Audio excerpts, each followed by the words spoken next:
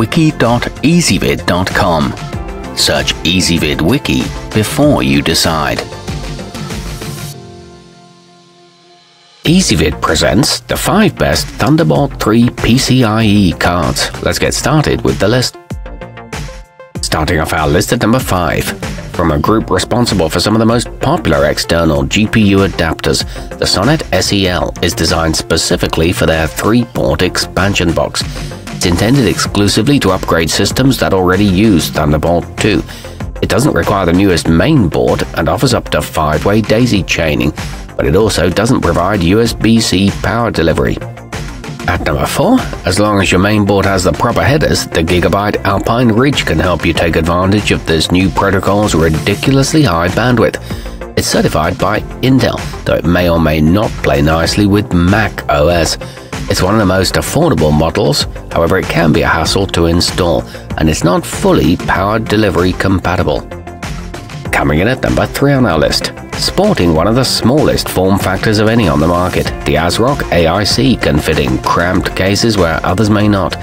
In addition to its dual Type-C ports, it features regular and mini DisplayPort inputs and is supported by a range of Intel-based systems. It promises a relatively easy installation at a rather moderate price, but it doesn't work with AMD boards. Our newest choices can only be seen at wiki.ezvid.com.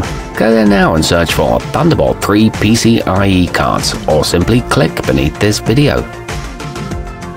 At number 2, in addition to full 40 gigabit per second throughput when used with the proper motherboard, the Asus Thunderbolt EX3 is totally compatible with second generation USB 3.1 devices and even lets Windows PCs use LG's high-end ultra-fine displays.